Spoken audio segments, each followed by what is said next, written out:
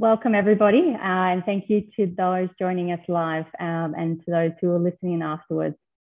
I'd also likely, um, like to warmly welcome our guests uh, today, whom I'll introduce shortly. Our webinar today is titled Empowering Self-Care Through Pharmacy, Guidelines and Resources for Pharmacists.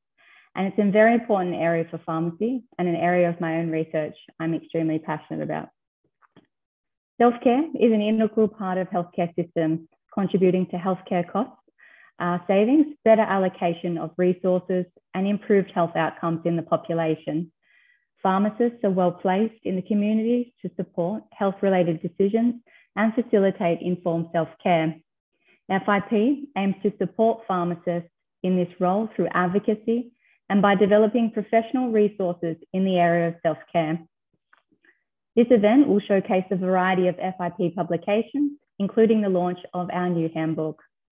As has been demonstrated in uh, previous webinars in the self-care series, self-care is a fundamental aspect of pharmacy practice and could be better supported in healthcare systems more broadly.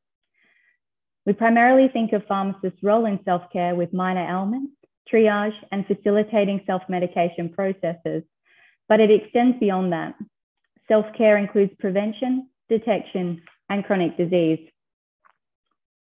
We know that pharmacies are the most frequently visited healthcare destinations in most, most developed countries, and community pharmacists are one of the most accessible healthcare professionals.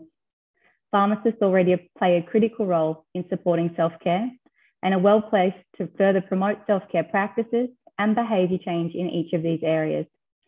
Our speakers today will explore self-care in further detail in this webinar. Next slide, please. Uh, but first, to introduce myself, I'm Dr. Sarah Dineen Griffin, a pharmacist from Australia. My current position is as a lecturer in pharmacy practice at the University of Newcastle in Australia. I am uh, FIP's uh, Community Pharmacy Section ExCo member FIP's Vice Chair for the New Generation of Pharmaceutical Sciences Special Interest Group, as well as Vice Chair, um, sorry, Vice President of the New South Wales branch of the Pharmaceutical Society of Australia. We'll now move to the announcements. So as you can see uh, on this slide, we have a few announcements uh, for our webinar. Please note this uh, uh event sorry, will be recorded, live streamed on FIP YouTube and will be available at www.fip.org. To all those listening, please feel free to send your questions using the Q&A box and I will do my best to manage all the questions so that our panelists will be able to answer those at the end of tonight's session. You are also welcome to provide any feedback to webinars at fip.org and a certificate of attendance will be sent to all of you uh, via email. Lastly, I would like to take this opportunity to promote the benefits of membership with FIP, including the events and webinars that uh, FIP host. FIP is the global body representing over 4 million pharmacists and pharmaceutical scientists. And if you are a, a pharmacist or pharmaceutical scientist and you are not a member of FIP, I would strongly encourage you to do so at uh, fip.org. Next slide, thank you. So uh, for this event, we are joined by a panel of fabulous speakers, and I wanted to sincerely thank each of them for taking the time to prepare their uh, presentations for today's uh, webinar. Our first speaker is Lars Åke Söderlund, uh, Vice President of FIP from Sweden. We have Mr. Daragh Connolly, he's the President of the Community Pharmacy Section uh, of FIP from Ireland. We have Mr. Christopher John, FIP lead for data and intelligence from the United Kingdom. And we have Mr. Ruben Viegas, uh, FIP practice development projects coordinator from Spain. Next slide, thank you. So uh, for today's program, uh, we have a number of presentations. So firstly, uh, Lars will be talking about self-care as a pillar um, of universal health coverage. Daragh will be providing a presentation on the role of community pharmacists in supporting informed self-care. Uh, Chris will be providing a summary of the online program, Shaping the Future of Self-Care Through Pharmacy. Uh, lastly, we have Ruben, he will be launching uh, the Empowering Self-Care Handbook for Pharmacists and introducing you to a, a number of other FIP resources. And uh, we'll also be finally um, hosting a Q&A at the end of the session with some closing remarks from our panelists. Next slide, thank you. Um, so a few learning objectives for tonight's session. Firstly, we will understand the contribution of self-care to universal health coverage, exploring the role of pharmacists in supporting uh, informed self-care, and lastly, showcasing FIP's material in uh, the area of self-care. So our first speaker uh, tonight is uh, Lars uh, Söderlund. So Lars is Vice President of FIP. He's co-chair of the FIP Congress Program Committee, immediate past president for the Community Pharmacy Section, as well as co-chair for the FIP Technology Forum. And congratulations, Lars. He's an extensive experience of working together with the Swedish healthcare sector in improving health and creating sustainable healthcare systems. He's been vice president of the Swedish Pharmaceutical Society and has a, had a number of executive positions with Apoteket, recently as head of National Customers New Business. Lars is president of the Swedish National Project, Check My Medicines.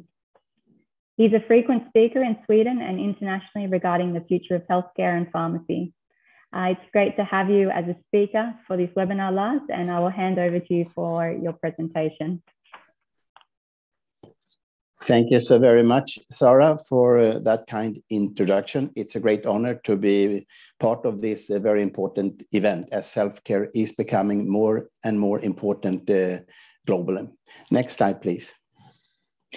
Well, uh, as you can see, um, WHO defines self-care as the ability of individuals, families, and communities to promote health, prevent disease, maintain health, and to cope with illness and disability with or without the support of a healthcare provider. Next slide, please.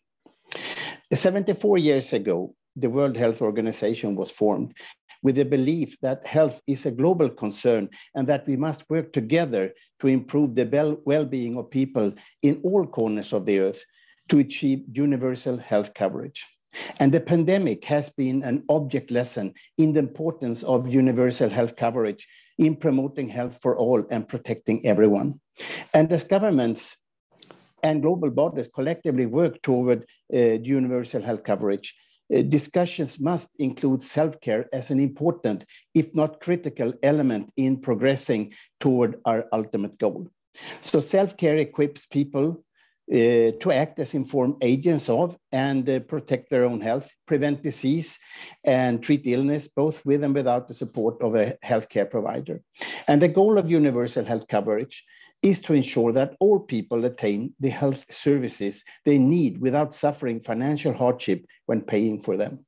This means a strong, efficient, well-run health system that meets priority health needs, affordability, a financing system to avoid financial hardship, access to essential medicines and other health technologies, and sufficient capacity or well-trained, motivated health workers to provide the services needed. Next slide, please. So defining self-care means that self-care refers to the holistic activities, practices, and products, both medicinal, devices, and nutritive, that a person can adopt to improve their health and well-being. And self-care involves making healthy lifestyle choices, avoiding, avoiding unhealthy lifestyle habits, making responsible use of prescription and non-prescription medicines, self-recognition of symptoms, self-monitoring, and self-management. Next slide, please. And uh, there are many benefits of healthcare and, and, and self-care, both for the healthcare system and for the patients as well. And the COVID-19 pandemic has accelerated and emphasized the need for self-care interventions, interventions to alleviate an already, I would say, overburdened healthcare system. But the need for self-care uh, will remain long after the pandemic is over. The World Health Organization expects there to be a worldwide shortage of um, 18 million health workers by 2030, which can prevent the world from reaching the global uh, goal of universal health coverage. In 2017, the World Health Organization predicted that if the world continued on the same trajectory, less than half of the world's population will have access to basic and essential healthcare services by 2030. And this barrier to healthcare disproportionately uh, actually impacts people in underserved communities who are unable to work, to go to school, to support their families, and spend time with their loved ones because they can't prevent or treat their ailments. And in the light of the unforeseen global pandemic, unless we take significant and immediate action today, this problem is going to get even worse before it gets better. That means we need to act today. One solution to the health worker shortage is for governments to promote and use evidence-based self-care intervention by support from the pharmacy. Not that long ago, I think you all remember that hospital wards were filled with people who had chronic conditions such as diabetes.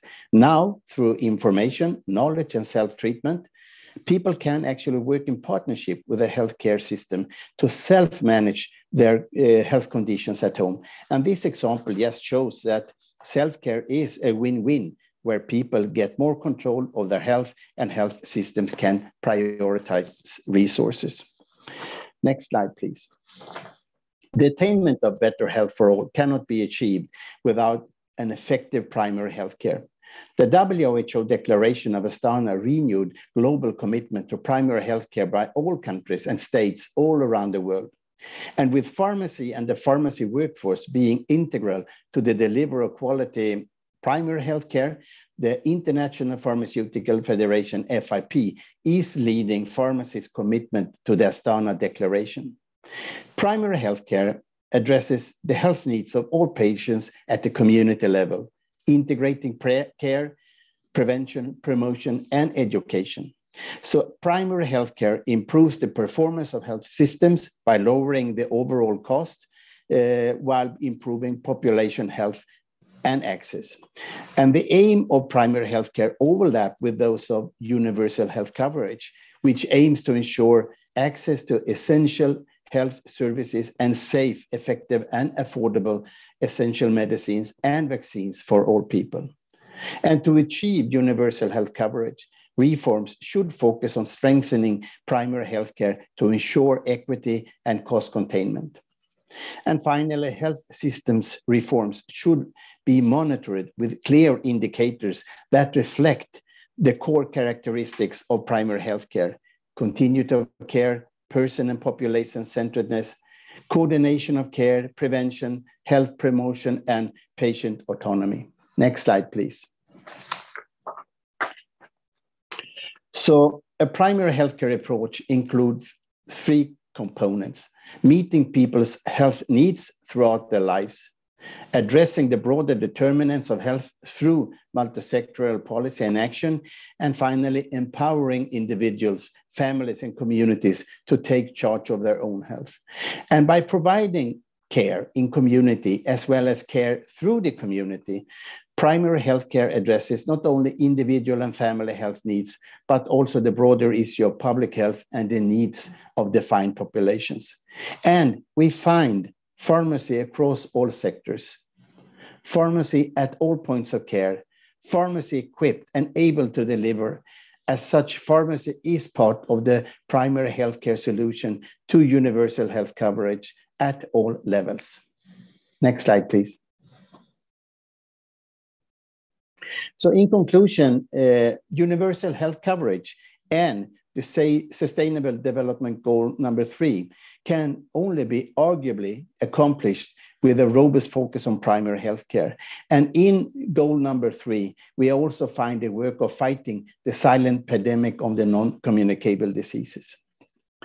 Pharmacists can and should be part of the larger initiative to improve public health, particularly in reaching targets in sustainable goal number three, good health and well-being, ensure healthy lives and promote well-being for all at all ages through patient education and in being part of the policy development in every country. Next slide, please.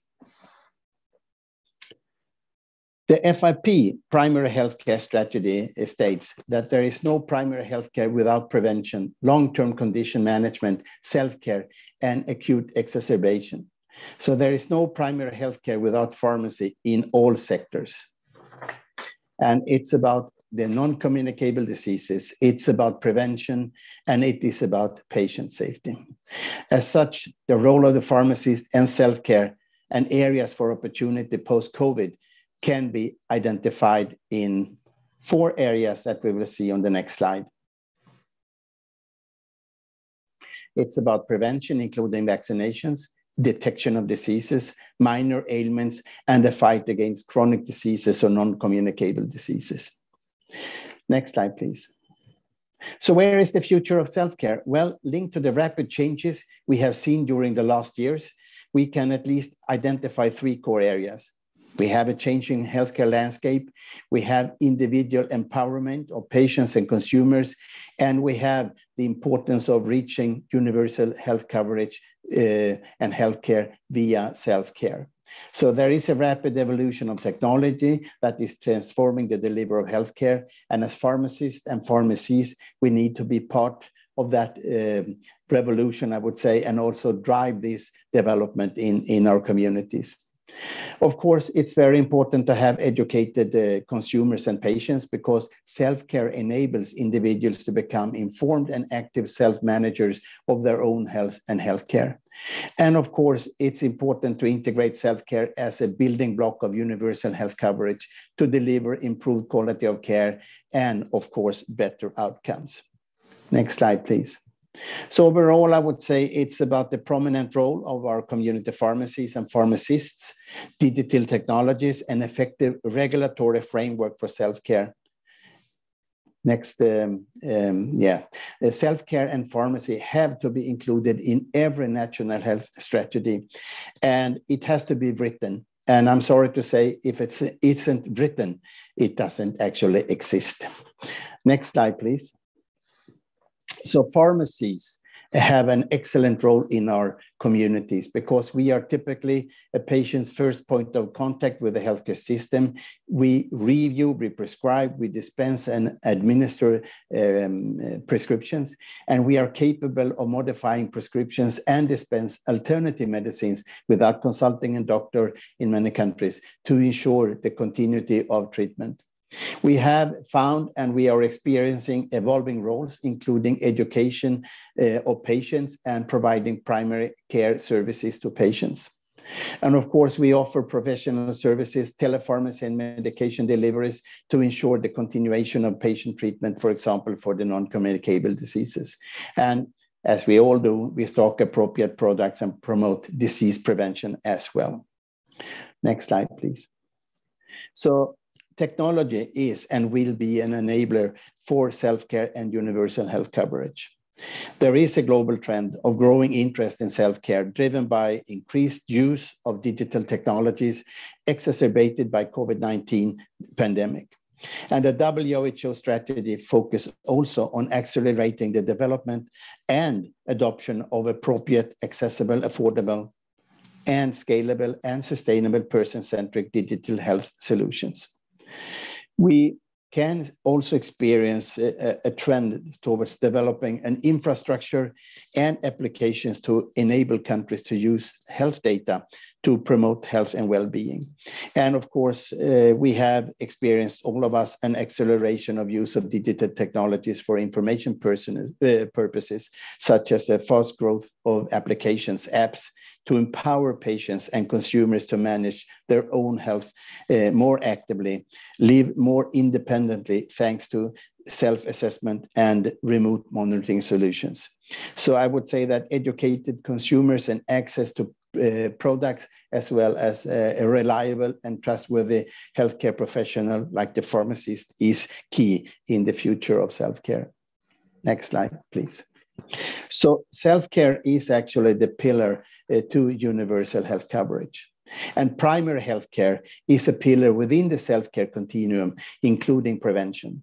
And this, the, in this model, as you see on this screen, um, people are centered and empowered, and professionals should assist them rather to take over in a paternalistic way.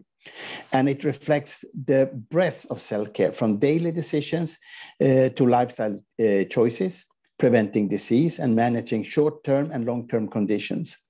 And at the other end of the continuum represents fields where professionals have greater I would say, responsibility, acknowledging that self care has a role throughout, apart from very rare exceptions. And as such, self care is not a new concept, but and uh, nonetheless, it's pivotal to good health, well being, and to the sustain, sustainability of our health services. And our vision as pharmacists, as well as the vision for FIP, is to empower, educate, and equip people with the ability to transform their health for a better life today, tomorrow, and well into the future for the improvement of society as a whole. So, self care is nothing less than living the healthiest, longest, most fulfilling life possible. And what could be a better aim for every national health system in the world, whatever structure? And pharmacy is prepared to deliver. So, as such, I think we need a new approach to healthcare that empowers people to look after their own health. And community pharmacy is where self care happens to a huge extent. extent. Uh, next slide. So, as such, self care should be essential to the future of every healthcare system. Thank you.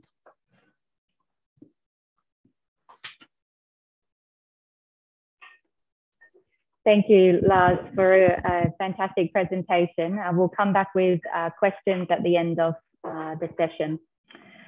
Uh, our next speaker, uh, next slide, thank you. Our next speaker is Mr. Daragh Connolly. he's president of the FIP's Community Pharmacy section. so just a biography for Daragh. He was elected as president of the Irish Pharmacy Union in May 2016 after serving a term of two years as vice president. Daragh has been involved with the IPU since 2002, having experience on regional and national committees. He was elected to a four-year term to the Executive Committee of the Community Pharmacy Section of FIP in 2018 and as Section Vice President in 2020. Daragh was Section Lead for the CPS uh, Vision 2025, uh, Pharmacists at the Heart of Our Communities. Daragh's community pharmacy practice is in Dungarvan, Co-Waterford, which is situated in the southeast of Ireland. He graduated from the School of Pharmacy, uh, University of Portsmouth in the United Kingdom in 1996. Daragh is a third generation pharmacist, uh, following his grandmother's in 1922 and father's 1959 footsteps. Daragh is former, vice, um, former president sorry, of the Dungarvan and West Waterford Chamber of Commerce and a current chair of the combined Total Health and Haven Community Pharmacy Cooperative with 125 members, Ireland's largest group. I hope I got that right, Daragh. Uh, thank you, Daragh. Now over to you for your presentation. Thank you. Sarah, thank you very much for that very kind introduction. I'm now starting to feel quite old because I have just reminded I qualified not only in the last century as a pharmacist, it was actually in another millennium. But I suppose what that does mean is I have a little bit of experience when it comes to community pharmacy.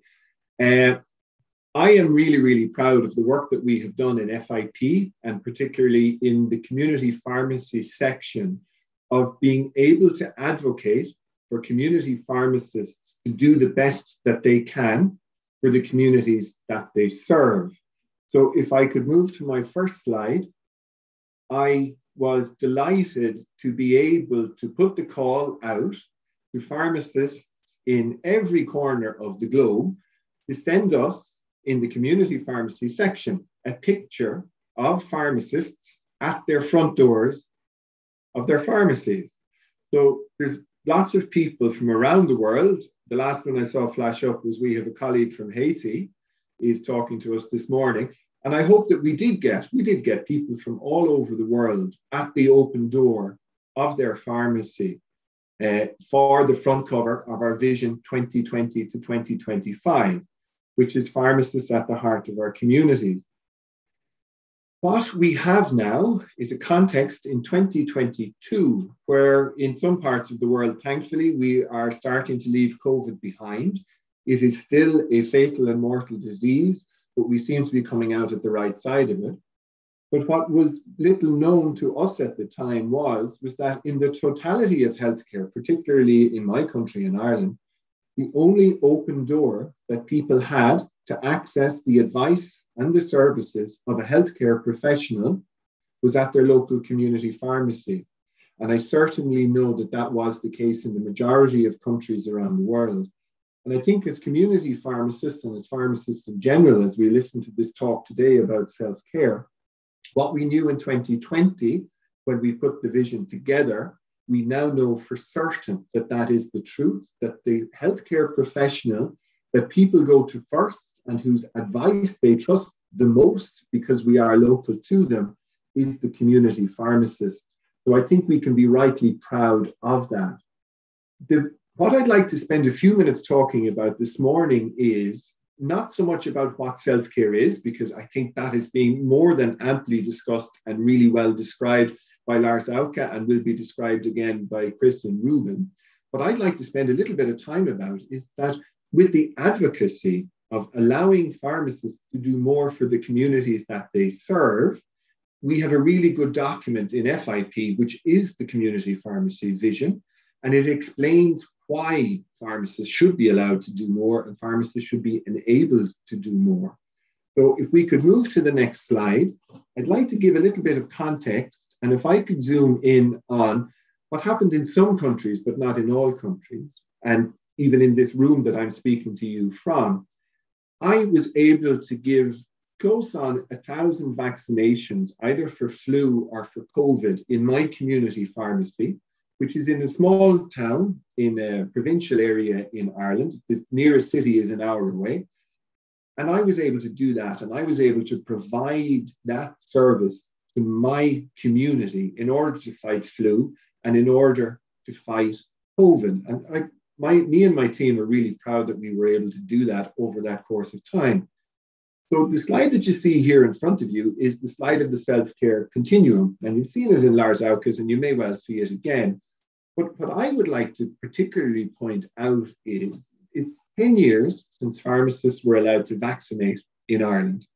And if you're in a country where you don't have the professional license to vaccinate just yet, I would like you to think around how you would make the argument to say that you do want to be able to do that and how you would go about it. So, if we consider what is vaccination and how does it fit into the idea that we're talking about today, which is self care? I certainly look at the left hand side and I say to myself, is it a daily choice that somebody would make to be vaccinated? And the answer is no. But it probably does come into it at lifestyle and prevention. One of the things that we can probably fall into a trap of thinking is, and certainly I know that legislators do, is they think they, they say they're talking about a healthcare system, but what they're actually talking about is a sick care system. And what we really have in self care is the antithesis of that, which is that it is real healthcare because it's preventative. So I would like to think that when we talk about self care, the choice that somebody would make to go to their community pharmacy to have a vaccination either against flu or against COVID 19 is one that they're making in conjunction with their community pharmacists. And I think what it also means is, is that because people have access to that service, there is more chance that they will make the choice to go and have that done because of the open door of the community pharmacy. And people have better access to community pharmacies than they do to GP surgeries or to vaccination centers. I think that that gives us a very strong argument to say that within the context of self care, the more services that are available in the continuum of care at the community pharmacy, the better the outcome is. I would imagine a retrospective will be done, but I'm going to hazard an educated guess, and I'm going to say that there were better outcomes for population vaccination in countries where people could access their vaccination through their community pharmacies. And I'm delighted to say that in Ireland, we hit a 92% vaccination rate of adults uh, for first dose, second dose uh, for COVID 19, which we're very proud of. So the continuum of care, I would stress, is, is that the pharmacist will fit in with it in many, many areas. And just because we can't see vaccination written on that continuum of care, if we think about it and empower ourselves, it's there. So if I could move to my next slide. We have broken down, and this is a very busy slide, and you will be able to access it later on. It's, we have broken down what we do as pharmacists in community as essential pharmacy care. And what I really think is important in this is, is that we have broken down into four components, the really, really core function of what pharmacists do, which is we review medicines, we prescribe medicines, we dispense medicines, and we administer medicines. So if I could zone back in again and say, where does vaccination come into this, or where does self care come into this? If we have the ability to administer medicines, we can do more for people in the continuum of care.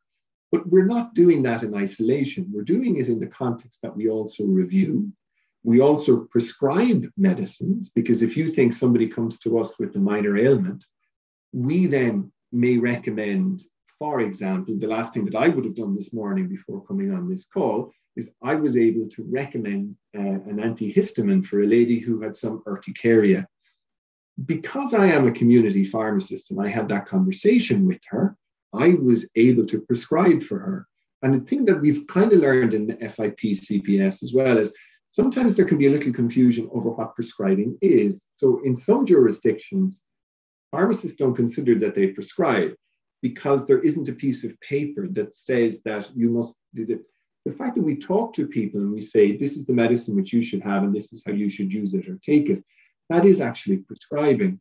So within that continuum of care what we do within the context of essential pharmacy care is that lady decided that she was going to have a consultation with the pharmacist this morning about her urticaria and i was able to help her with the medicine that i prescribed we only did that because we were able to review what her situation was. And if needs be, if she had come to me with urticaria, which had been complex because she was having an anaphylaxis, I could have administered a medicine to her. I could have administered adrenaline to her because I'm a vaccinating pharmacy. I'm qualified to do that. I could have done that for her as an essential pharmacy service. The point that I would make with all of this is, is that the essential pharmacy care that we provide links in so closely and so nicely with the continuum of care that we see starting with self care. To be able to make the argument for pharmacists to do more, I don't think you can make it in isolation from talking about what the continuum of care is, what self care is, and what essential pharmacy care is. So, if I could have my next slide. We have broken down how you would make the argument of allowing pharmacists to do more for the populations that they serve. So if you look at the top right hand corner, the demographics of populations and professions says to us that if we're to serve that self care need, we need to recognize that certainly in Ireland and in Western Europe, there seem to be fewer and fewer general practitioners. And it is very evident that the first point of care that people have is to the community pharmacy. Also, because we have a more educated population, and also they trust their pharmacists now more than they ever did because of the services that we have provided through the pandemic, we can also see that they themselves need to access the continuum of care at a less complex point because they're more informed about their condition. If we go to the bottom right hand corner, we can know that there are proven improved outcomes for patients if they have that essential interaction with their community pharmacists. And I would highlight the minor ailment schemes that exist in countries like New Zealand or Canada or Scotland, all around the world, or the improved access to emergency hormonal contraception, which is also self care. And then, of course, what we see is again, and this comes after uh, when, when this point was written in 2020, when we see the improved outcomes of vaccination. We get better vaccination coverage when that can be done at a lower point of complexity within the continuum of care. So that is an improved outcome. If we go up to the top left hand corner, we can also know through our own daily practice, pharmacists themselves, particularly community pharmacists, aren't used to their full potential, which is something then that isn't good within a healthcare system because we're not moving people to the lowest point of complexity. And the harder it gets to treat people as we move them up the continuum of care, we need to be looking at after them at the lower end of complexity within the continuum of care. But a key point that I'd like to leave you think about as well is we will get more satisfaction as community pharmacists if we are enabled and empowered to look after people more through new services such as minor ailment services or vaccination services, contraception services. We will feel more professional satisfaction to be able to do that. And point then that I would make, if we look to the bottom left-hand corner, we can fall into a trap of talking about how brilliant pharmacists are and pharmacists should be allowed to do this and pharmacists should be allowed to do that. The most important people in the continuum of care aren't pharmacists, doctors, endocrinologists, or whatever it might be. It's actually the people who use the service. That's the communities that we serve. And anytime, anywhere, anybody around the world has gone out and asked the people who use the service, who are in the continuum of care, the patient or the customer or the client, whatever you want to call them, they have always said that they want their pharmacists to do more. And I would imagine if we were to do that now into the future, having gone through COVID and the relationship that people have with their pharmacists post COVID, I would imagine, I am certain of it, that we would be able to say that people want us to do even more than that. So, just in summation, if I could go to my next slide, we ask ourselves then, what is the question, what is self care? So rather than trying to define self-care, I would just like to move this on and say, where does the pharmacist, the community pharmacist fit into this? So self-care is defined as when taken by individuals of their own health and well-being at the lowest level of complexity with advice from a healthcare professional. So that is a pharmacist because we have the accessibility and we can give people the choice. What we say when we say the lowest level of complexity doesn't mean to say that what we're doing isn't complex what we do is complex. And I suppose just in a way, because we make it look easy, doesn't mean that it's hard. But I think that's really, really key to put across that it's the lowest level of complexity without it actually being non complex. It is complex. So if we then think about it in terms of what a community pharmacist can do for people, it's about the decisions they make for themselves and their families. And who better to talk to other than a community pharmacist because you may have a relationship which isn't around healthcare with your community pharmacist because we do lots of other things for people. If you then look at when we do those professional things for people, because we have the continuity of care and the continuum of care, we can help people through that journey, which starts at the left hand side and sometimes, unfortunately, can end up on the right hand side. The third point is that patients who are better informed and more educated possess greater motivation for self care. If you trust the person from whom you are getting the information, and this is something that we know certainly now, and in many cases, unfortunately, through the COVID pandemic, that unfortunately people out there didn't trust the sources of information that they were getting and subsequently did not make good choices around their healthcare. People like to get their information from their community pharmacists. And then I suppose the final point then, the recognition and evaluation of symptoms is a key aspect of self-care. You can be listened to and understood better by your community pharmacist who knows you rather than somebody that you've never met before. So the final thing I want to leave you with on my last slide is we are really, really well positioned to start conversations with people about their health care, about their self care, and about their well being.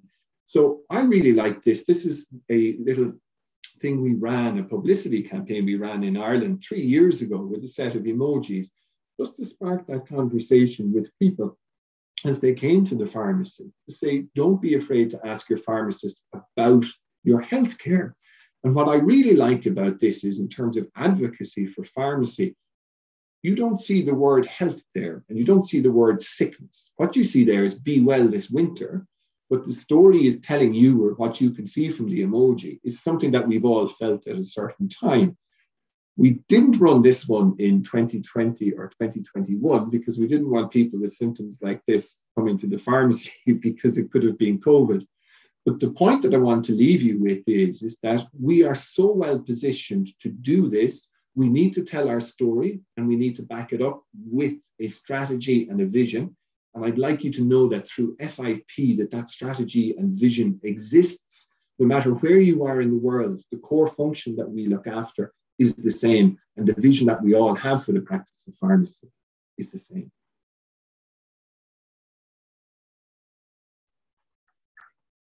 Thank you very much, Daragh. Um, always a great presentation from you, and uh, I love how, how passionate you are. Um, all right, we might move to our next speaker, uh, which is uh, Christopher John. Welcome, uh, Chris. So Chris is the FIP lead for uh, data and intelligence and is project manager for FIP Global Pharmaceutical Observatory Project. He's also the account holder for FIP European member organizations. Chris is a registered pharmacist in the United Kingdom and spent 25 years in its NHS working in hospital pharmacy, education and training, and workforce planning. Chris was also head of workforce policy and projects at the RPS, working on thought leadership, consultation responses, and standards guidance relating to the workforce. Chris has been an assessor on the Office for Students Teaching Excellence framework, which assesses the quality of teaching and outcomes for students studying pharmacy, medicine, nursing, and other healthcare subjects at universities. Chris is part of the core team that produced the FIP development goals and was involved with updating the FIP COVID treatment guidelines. Um, all right, over to you, Chris. Thank you. Thanks, Sarah. Hi, everyone. Um, if we move over onto the next slide, I'll be providing a summary of the self-care program that was delivered by FIP over 2021 and early into 2022. It was called Shaping the Future of Self-Care Through Pharmacy. We've heard from Lars Åke and Daragh that pharmacists contribute on a daily basis towards health systems being sustainable and universal health coverage. And they do this by supporting and empowering people, patients, and consumers in making healthcare choices that we hope often and often do lead to optimal outcomes. This is part of their role all around the world, and healthcare professionals or healthcare providers are at the heart of the community who deal with consultations on a variety of self care areas in their practice.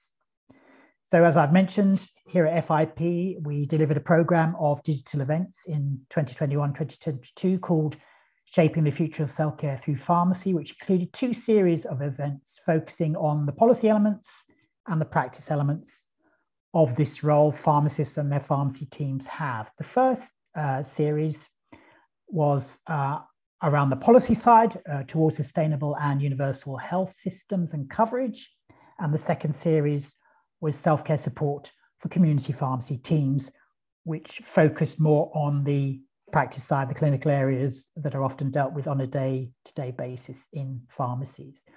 We produce summaries of all these events. If you want to hear any of them, they're still available on the FIP um, website. And we also have some summaries that are, have been produced of all the events.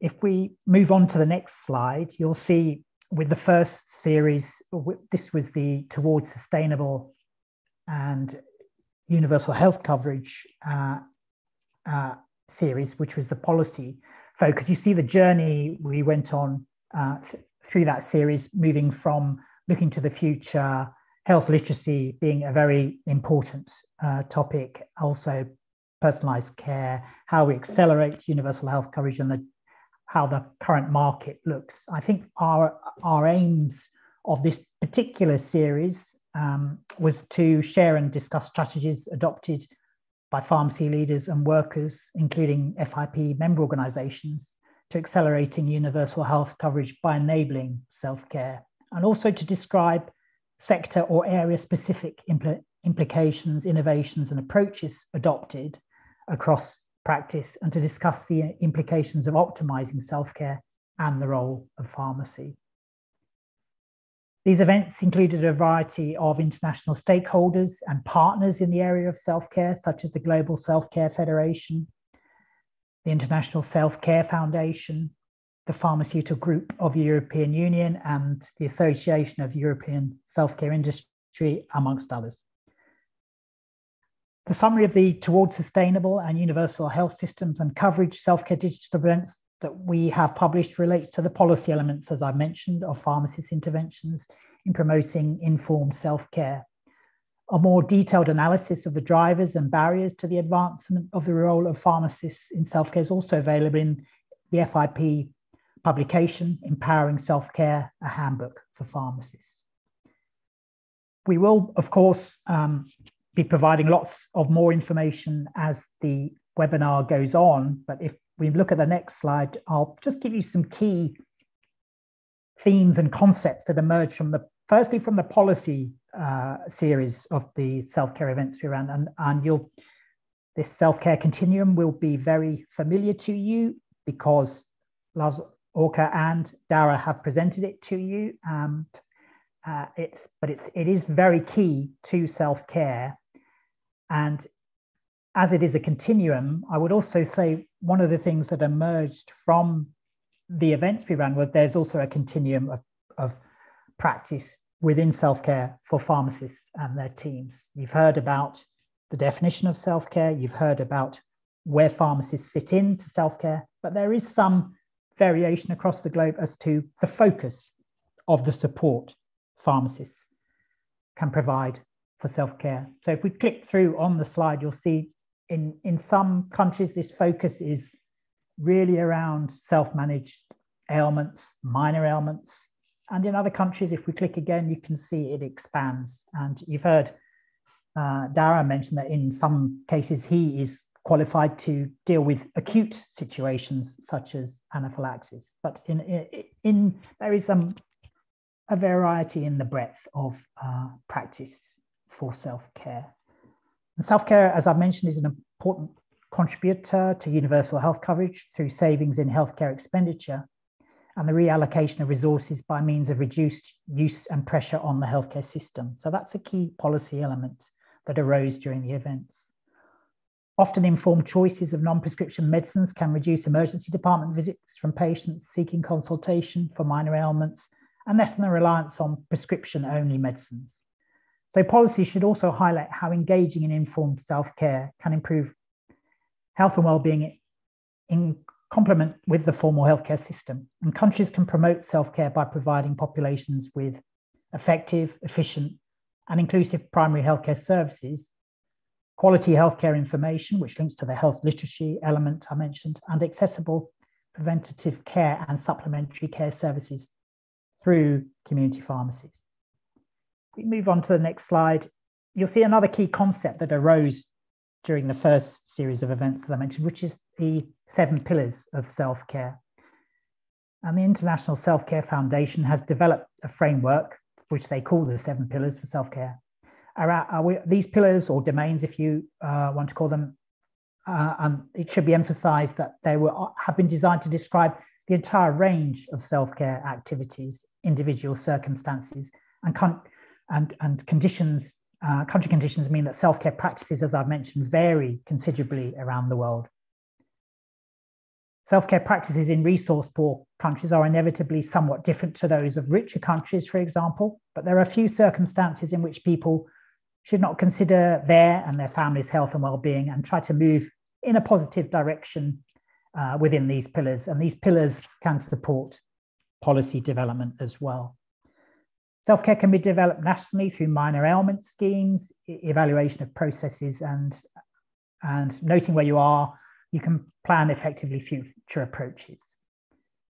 Limitations for the development of the role of pharmacists in self-care can be either from a regulatory perspective or our workforce motivation perspective.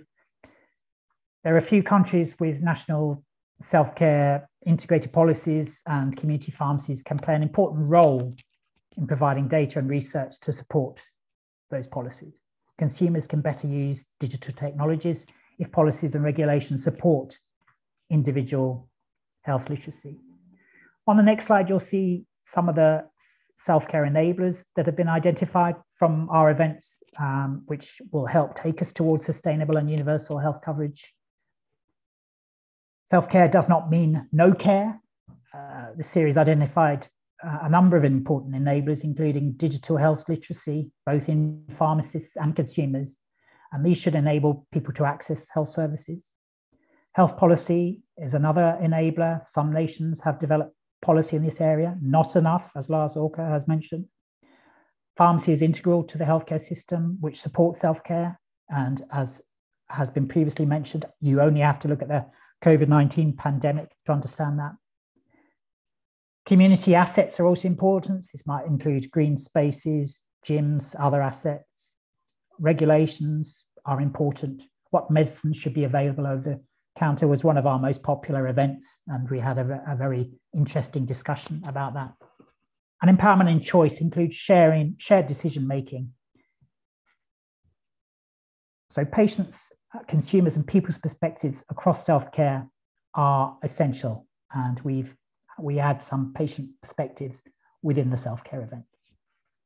Moving on to the next slide, you'll see self-care support for community pharmacy teams was our second series of self-care events. And here our aim was to provide relevant information, guidance and updates for pharmacists and the pharmacy workforce on self-care so they can take a person-centered approach.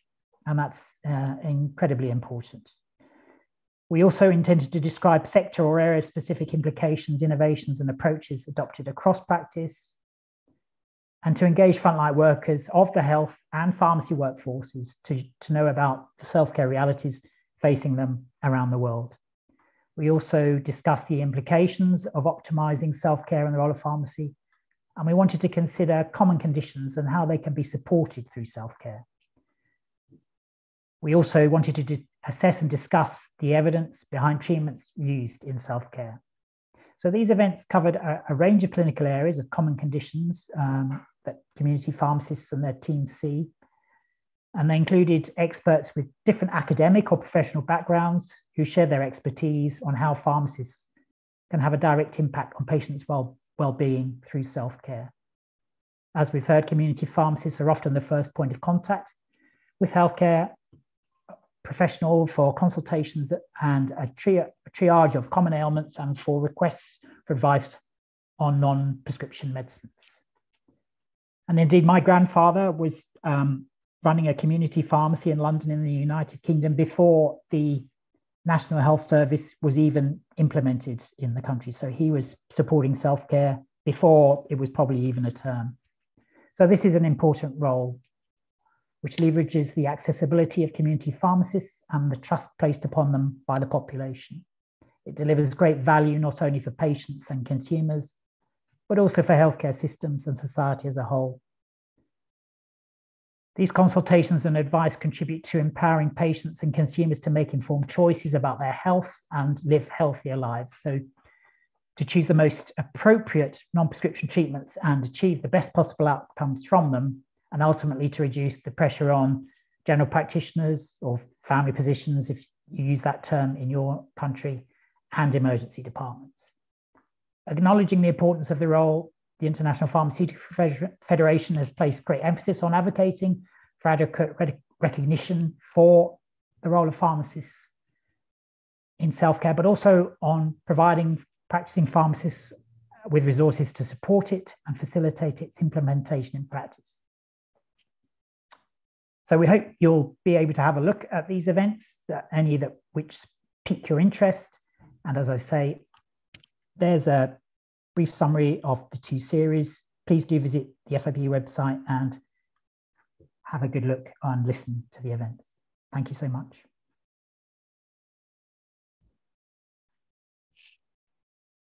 Thanks very much, Chris, uh, for sharing for sharing uh, your presentation.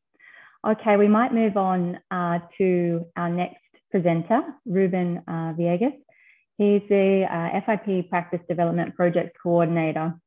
Uh, Rúben is a pharmacist from Portugal uh, with a master's degree in exercise and health from the Faculty of Human Kinetics in Lisbon. He's currently enrolled in a PhD program focusing on the promotion of physical activity through pharmacists. He has been involved in different associations and educational activities focusing on the area of public health and pharmacy practice. Um, thank you, Rúben. Over to you. Thank you very much, Sarah. Uh, it's a pleasure to be here uh, with you today, this morning or this evening.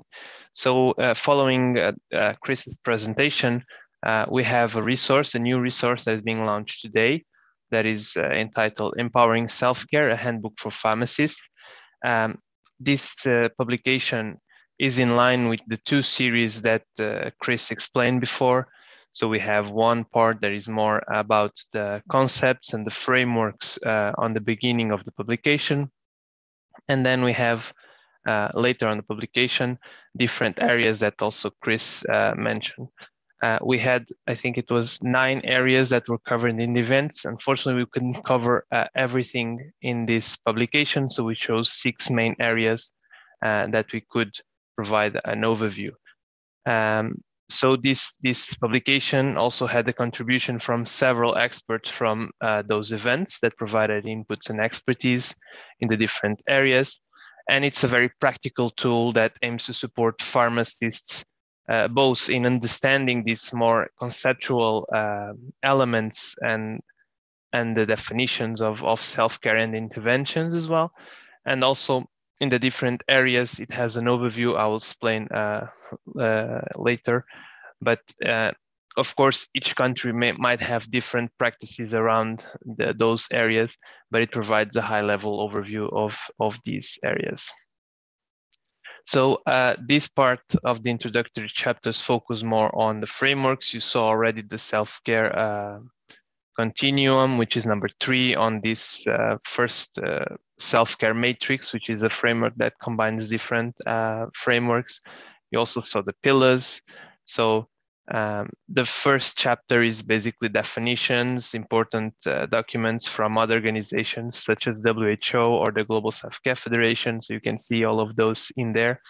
The second chapter is more about the evolution of self-care. So as Lars Åke also mentioned in the beginning, the trends in self-care, how it contributes to universal health coverage, and also the barriers uh, that, that pharmacists might face in order to advance these services.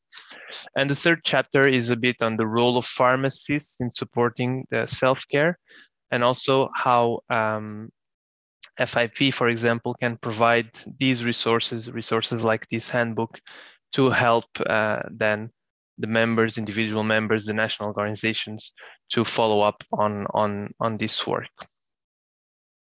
Uh, after these chapters, we have six different chapters on specific conditions, so sore throat, gastrointestinal complaints, musculoskeletal pain, children's fever, sexual health, and disinfection of the pharmacy. They are broad areas that encompass um, different symptoms uh, and sometimes different ways of acting. So in each of these chapters, we try to include short introduction, then the signs and the symptoms, so pharmacists are aware of how they look like and what they might expect people come to them uh, complaining about or asking about. Uh, a triage that includes a flowchart that you'll see in the next slide.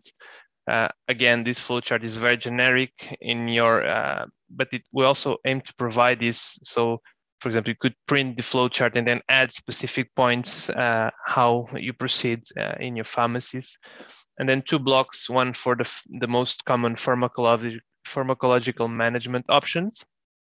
And the second point that is also very important on the non-pharmacological uh, management uh, and approaches for these conditions. A last block uh, has the useful resources and links because in some of these conditions, there are many resources available from WHO or specific organizations. So it's also uh, there on the end of the chapter for further reading or more information. So starting on sore throat, you can see the example on the on the right for the flowchart. Maybe it's not very visible, but you can uh, look at it with detail on the on the publication. For sore throats, the key highlights are the important link with antimicrobial resistance, because sometimes uh, patients might come to the pharmacy with sore throat and, and request an antibiotic uh, and do not understand that they might need probably to get tested. They will need to go to the, the, the GP to get this prescription to check if it's needed. Uh, in some countries, there are also uh, testing available in the pharmacy, so you can do a quick test and see. Uh, so this area, it has an important link with the antimicrobial disease uh, resistance. Uh, then uh, it has also this part of assessing the severity of symptoms. Normally, most times, when people, also from my experience in community pharmacy, sore throat is easily managed in the community through lozenges or anti-inflammatories or over-the-counter uh, or non-prescription medicines, but sometimes there might be a need for uh, for referral, and it's uh, there on the publication which uh, are these situations. And then, as I said, the non-pharmacological uh, options are also important. How to soothe the throat, how to keep it hydrated, so you don't get a, a sore throat very often.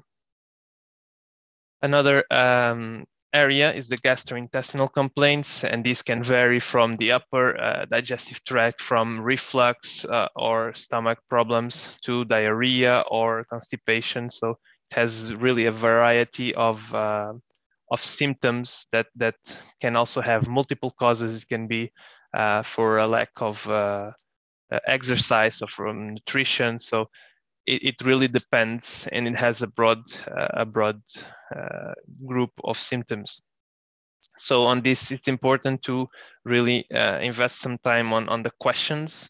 So trying to triage the difference, uh, assessing the causes for, for the gastrointestinal complaints. And of course, the nutritional advice, it's, it, normally it's very important uh, as it can, it can support the non-pharmacological management of these conditions. For musculoskeletal pain, uh, we have this condition that has a high burden, not only in older people, but also uh, younger people uh, have also a high incidence of, of, of pain, especially low back pain from occupational activities. For example, everyone now works in the computer. And then when you notice you have a chronic uh, back pain, um, as pharmacists, there are different formulations, different products uh, from patches to creams to ointments to uh, tablets. So there are quite a lot of opportunities to uh, manage musculoskeletal pain and also referral to the community because sometimes there might be a need for uh, further involvement in uh, physiotherapy, for example, or other other uh, other options.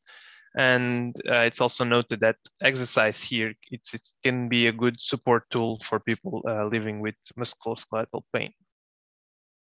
Moving on, we have another uh, area, which is the children's fever. The flowchart is a bit smaller because it's uh, normally, it, it has a, a, smaller scope of, of uh, intervention. Uh, sometimes it's also about trying to reassure parents that uh, because they might be worried that their child has a fever or is unwell. Um, so pharmacies here can provide good advice on the, checking the temperature, uh, looking at the child, ensuring that the, the child is comfortable. And uh, one important key aspect that was also brought from the event is that the use of paracetamol of, of or ibuprofen should only be considered when the children is um, in, uncomfortable or distressed. So should not be the first thing to do, uh, only uh, used uh, if needed. And then of course, if there are red flag symptoms that you see on the right side, uh, they should be referred and, and looked up by a, a doctor. Another chapter is sexual health. Uh, again, here is a very broad, uh, when we talk about sexual health related issues, uh, they differ in prevalence according to uh, sexual orientation, gender identity, sexual expression, relationships. So it's, it's a very wide area. Um, normally these, these issues, uh, if, if there's privacy to discuss them, uh, it's, it's normally more comfortable for, for the clients, uh, the, the customers, patients visiting the, the, the pharmacy.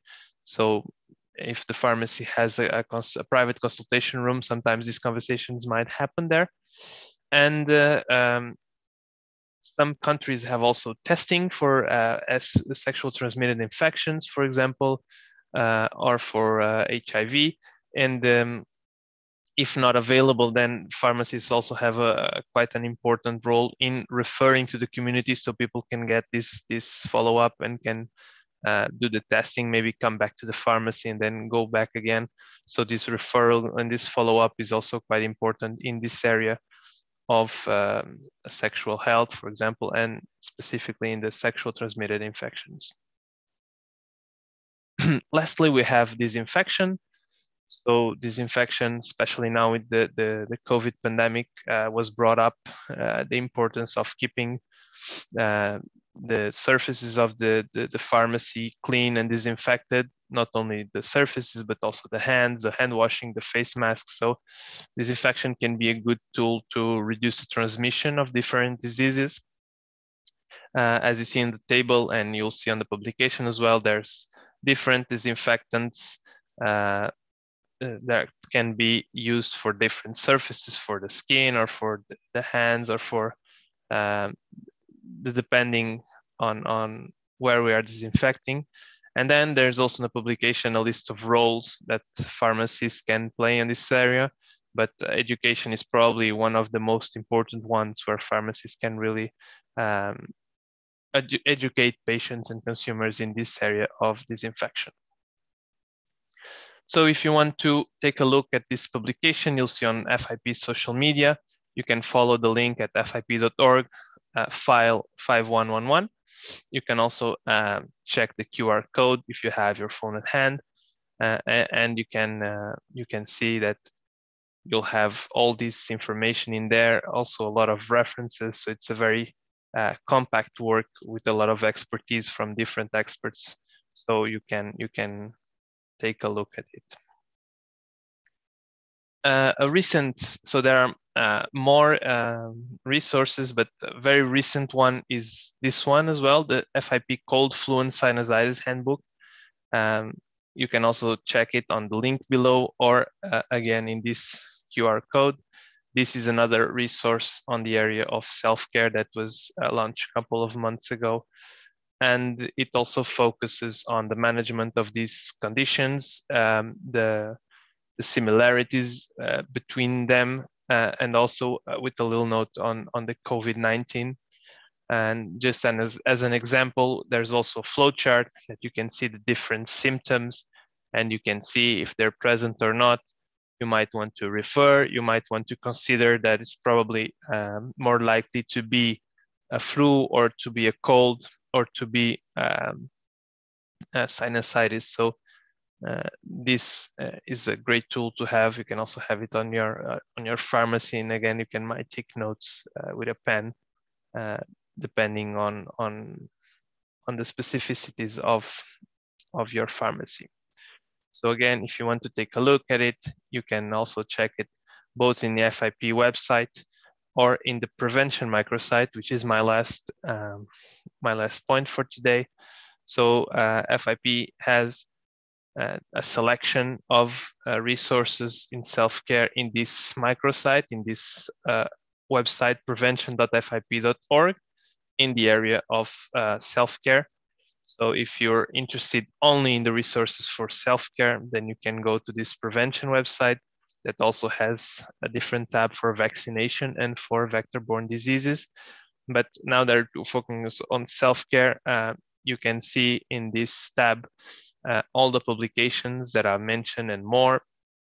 And you can see also the different events and webinars that uh, here on the image you see the, the one in of sore throat, for example, on November 23.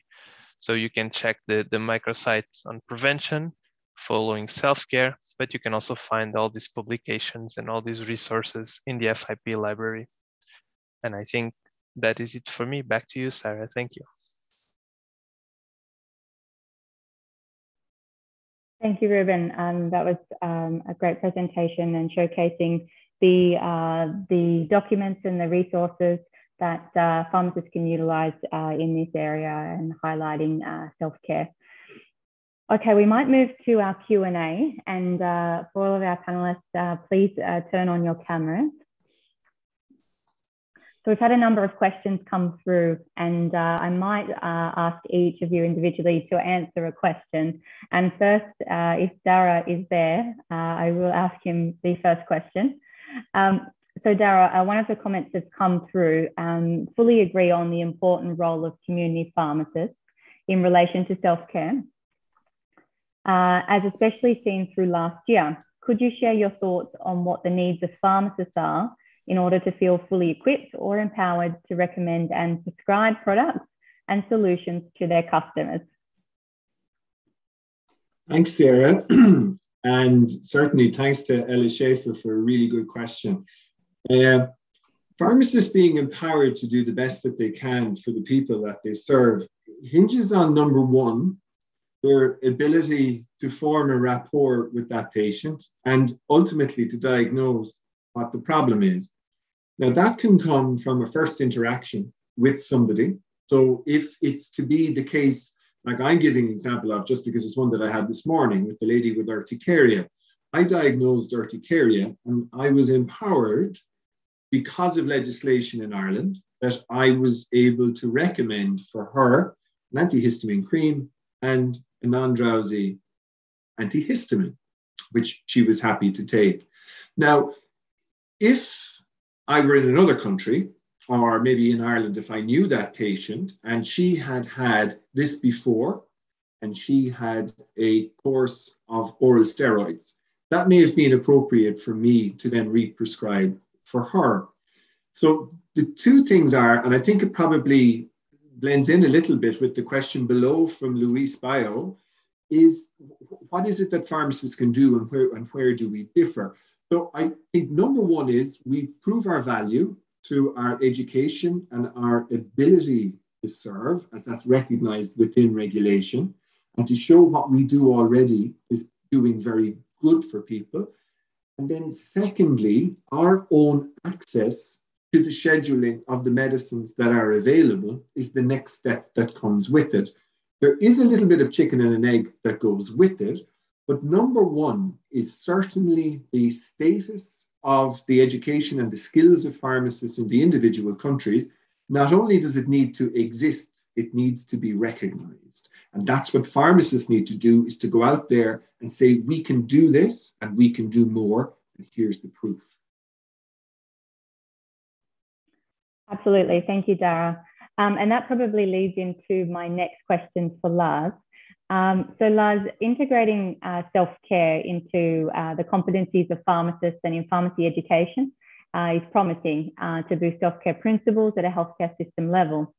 So, how can we ensure that uh, knowledge and skills of the pharmacy team in self care are sufficient to deliver services?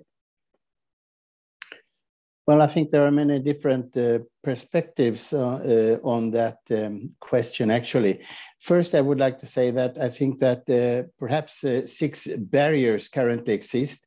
I mean, the workload, the efficiency, uh, remuneration, and education, perceptions of the pharmacy workforce, as well as interprofessional teamwork and health literacy.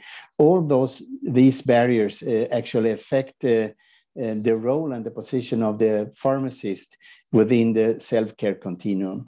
Uh, and as such, I think it's very important uh, to actually link to the COVID-19 pandemic. We need to develop a blueprint for self for a self-care strategy because the COVID-19 pandemic has had a significant impact on the wage, ways in which uh, many governments actually promote and the public today consider uh, self-care. So, uh, uh, I mean, during the pandemic, uh, the message from many governments was stay at home, protect our health system, and save lives. That was a message of self-care. And in response, following the ways of the pandemic, we have now seen how many people actually turn to community pharmacies for support and help. And, and uh, uh, many say also that they are likely to do so even more in the future. So going forward to the health systems recovery and many governments' long-term aspirations, I think it will be critical that these new behaviors are integrated into how people interact with our healthcare systems and pharmacies. And uh, I hope that within five to 10 years' time, individuals should understand and be willing to practice self care, knowing how to take care of themselves and where to go to the pharmacy when they are feeling unwell. And there should be also a cultural shift among healthcare professionals toward well, towards well-being and away from the sort of biomedical model of care, supporting individuals to incorporate self-care and stay healthy as long as possible. And the system should also be designed to support self-care with pharmacy being much more integrated into the primary healthcare pathway and clear routes to self-care across primary and secondary care. And also i believe that digital technology should be used to its fullest potential to encourage self-care wherever appropriate, empowering individuals to consider options for self-care at all points uh, on the care pathway. And to meet all these, I would say, ambitions, the rigid pa patient pathways, unnecessary prescribing habits, and persevering perceptions of hierarchies in the healthcare systems that we have must all be done away with. And a new system needs to be created which fully integrates the promotion of everyday well-being, self-care for self-treatable conditions, and also the management of long-term conditions into the wider healthcare system. So we need a new blueprint where pharmacy is central in this perspective. Thank you, Lars. Uh, okay, we might move to the next question from Chris. Um, so, uh, Chris, I believe you touched on it in your presentation around uh, the limitations for pharmacists, such as uh, policy and regulations. Um, and one of the questions that's come through are around the barriers that need to be addressed um, and how ideally these could be overcome uh, in relation to self care. I, I know Daragh and Lars have already touched on a few of these, but perhaps you could expand on that a little bit more. Sure. I mean, I, I think I prefer to talk about enablers rather than barriers because I think there is a lot already been done by pharmacists. So how can we make it even better? So I think, uh, and this has been mentioned, a lot of what I'm going to say has been mentioned earlier on, but I think um, digital health has really increased in, in importance in the last couple of years. And we need to ensure the pharmacy workforce is very digitally um, with it, so to speak, and can uh, address an, a digital health approach to supporting patients with self-care because increasingly that's that's becoming very important. We have certainly in the UK, there's a lot more digital video consultations now on offer from community pharmacies, So that's that's a key enabler we need the tech and there are a number of companies providing the tech but obviously then we need the fund the tech funding. A lot of countries don't have any policy health wise health policy on self-care. We certainly need that. Health systems need to recognize as has been said pharmacy's role in primary healthcare and in supporting self-care not just the health system as we've said the other healthcare professionals. I think that is has again improved on the on the last few years Patient perceptions, I think uh, Lars Åke alluded to this, are important. I think it's important they don't see pharmacy as a second best to the family physician or a second best to the emergency department. Pharmacy is they'll get the right service at the right time and they'll get the right advice and they'll get sorted. And we've got a lot of evidence to show that is the case for supporting self care it's i mean it's not just medicines it's supporting there's other enablers as well and that i suppose is lead to more of the lifestyle advice and we need to um, be able to support people with changing behaviors and leading healthy uh, lifestyles and empowering them and giving them the choice. So it's having having pharmacies and the pharmacy workforce available is something you know it's, a, it's such an obvious thing. Perhaps we've overlooked it a bit. We've got to have far enough pharmacies and the pharmacy workforce around the world to support this. And we've got to have access to medicines that can support it as well. So that there would be the enablers i would say. Absolutely. Thanks chris. And i liked how you flipped my question uh, to take a, a more positive uh, more positive turn. All right uh, my next question is uh, for Rúben um, so one of the questions, Rúben, has come through um, is around uh, sexual health. And um, uh, the, the comment is, I maintain that self-care support, especially sexual health, could be sensitive um, with privacy problems. So patients do not uh, tend to share the information. So um, the question is, uh, what is the strategy to share the information with patients uh, through community pharmacy or as a community pharmacist?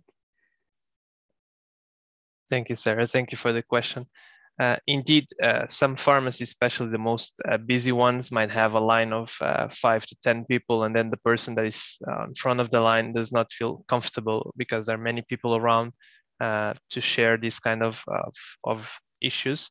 So I think the first um, most obvious solution is if the pharmacy has a private consultation room, then these issues can be transferred and the conversation can can go there. Of course, this also takes time from the pharmacist, but it's a solution, especially for these uh, for these cases.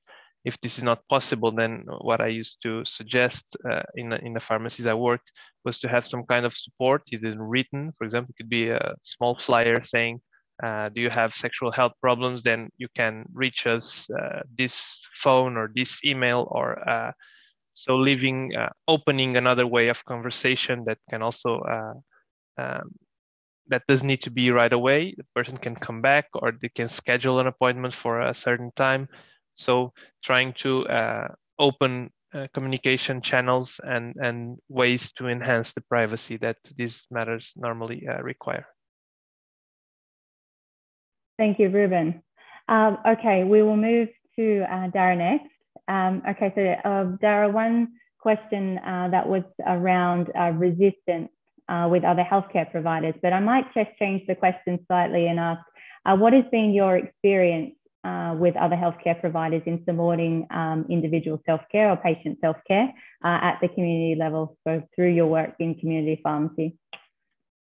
Yeah, really good question because none of us works as a healthcare professional in isolation. We're part of a network of care, a continuum of care, and I not trying to sound too smart, it depends who you're talking about. So in my small town, there are eight general practitioners and there are seven other pharmacies. And I have a very good and close working relationship with those general practitioners and those other pharmacists as well. We, through the COVID pandemic, have been able to get into the 21st century and we now have electronic prescribing. Now, with that, I will hasten to say that electronic prescribing is really is just a glorified email, but at least it has a legal standing that it is a legal prescription. So that has been a huge benefit to us in our working relationship with the general practitioners, because in previous times we would have had to say that the written prescription that was presented to us by a human being with a piece of paper that had just been written with a biro and pen 20 minutes beforehand the first time that we would have to be able to get back to the general practitioner to say that there was an issue of patient safety or whatever it might be with that prescription was when the patient was straight in front of us. Because we now have what's called health mail and electronic prescribing, we see the prescription before we see the patient. So anything that needs to be done can be sorted out via email with the prescriber. What that means then for the relationship that I have with those prescribers in my community is, is it was good beforehand, but now it's even better because we have a clear line of communication where there isn't a patient in front of me with the problem, and there isn't a patient in front of them who's another patient with another problem. So, to answer the question, on the ground, my interaction with those GPs is now better than it ever was. And the second reason why it's better than it ever was is, is that because of all the work that they have taken on to look after people during COVID 19, they are very happy to see some of the administrative burden, particularly around repeat prescriptions, that that would come on to us as community pharmacists. We are happy to do it because it actually makes our life easier. So at that level, we are getting on better than we ever have with those other healthcare professionals within the continuum of care here at ground level. Now, which will have this now will have a resonance with everybody listening in, no matter where they are in the world. If I then go onto a radio talk show to advocate for pharmacy services, to provide better services for people, somebody who is a member of the Irish Medical Association will come on and say that people are going to die and pharmacists aren't qualified to do it even though on the ground I know that that isn't the truth, and nobody under, who is a member of that organization actually believes that anyway, because they have their own political axe to grind. What I will say is, is that because of COVID and the change that we've all had to adopt, we're getting less and less of that as we advocate for more pharmacy services like the minor ailment scheme. And what I would probably leave it with as well is to say that we can all wait for particular enablers to happen with our own, within our own countries, which would be to say, if only we had electronic prescribing, we could do a minor ailment scheme. I think you've just got to go out there and advocate for what pharmacists can do with the tools that we have. Because we were six months away from having electronic prescribing in Ireland for about 12 years and we had it within six weeks of COVID happening. So if you wait for the perfect scenario for you to do your perfect job, it's never going to happen. Go out and advocate now for the services that you can offer to your community. Thank you, Daragh. And I believe, Lars, you wanted to uh, comment? Yes, uh, we all know that pharmacists uh, have the knowledge and skills to help uh, with many healthcare conditions, and uh, people don't actually need to, an appointment to speak to a pharmacist. And of mm. course, visiting a pharmacist first helps to make the more GP appointments available for people with more complex healthcare needs. So, so as a comment to, to Derek's um, um, expression here, I would say that perhaps explaining how we add value to team-based care as medication use experts could be extraordinarily helpful in turning uh, what I would say the tide, because I wonder if self care should be defined as being something that is achieved in collaboration with a pharmacy and our pharmacists, because that could help change consumer perceptions of pharmacists as well. And if, if, if we as a profession just make that connection every time self care is talked about, it would begin to build perception in health consumers' mind that self-care is something that is achieved in collaboration with the pharmacist.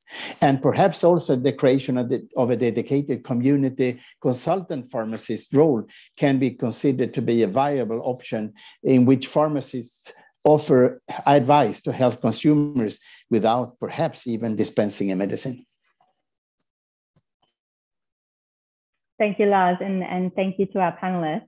Um, now we've got a couple of minutes to go and uh, we might move to um, the wrap up and conclusions. But before we do so, I was hoping uh, to ask for a final take home message from each of you. Um, so just around the importance of self-care in pharmacy practice uh, and how can pharma pharmacists best utilize and access the FIP self-care resources and educational materials and, uh, and utilize those in practice. So I might ask uh, Chris first, if you could uh, share 30 seconds as a summary.